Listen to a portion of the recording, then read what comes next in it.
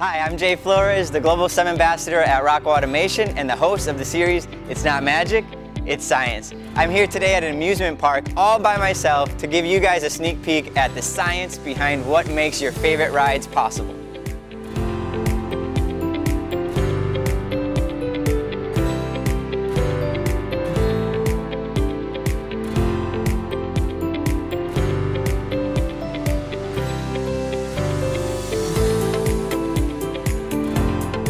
Stay tuned for our five-part video series where we're going to show you that it's not magic, it's science that makes your favorite rides possible.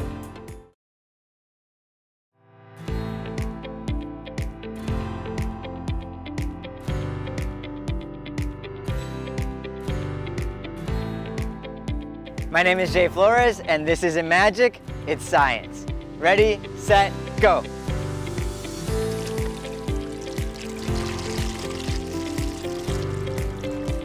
Science wins!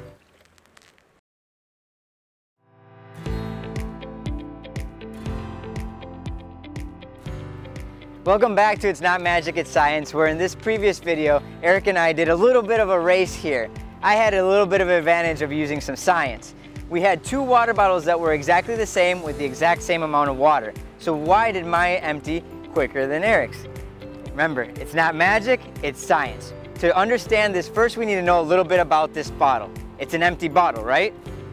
Wrong. It's filled with air. And so for the water to come out, we need the air to go away. And so by shaking mine a little, you may have noticed me doing a little bit of jerking motion, we created a vortex in the bottle which allowed air to come out through the middle of the vortex and the water to come out of the bottle. And that's how mine emptied more quickly than Eric's. Stay tuned for more. It's not magic, it's science.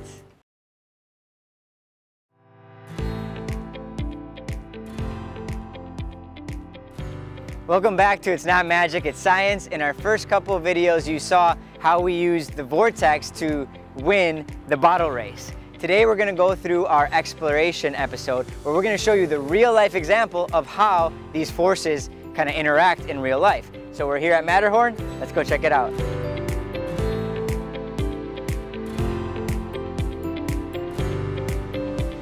You can try this experiment at home with just some water bottles and a couple of friends, or you can come visit us and have the experience of the real forces yourself.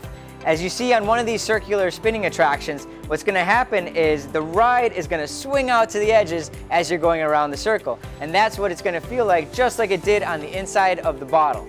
So make sure to try it at home or come visit us and experience it for yourself. Either way, make sure to stay tuned for more. It's not magic, it's science.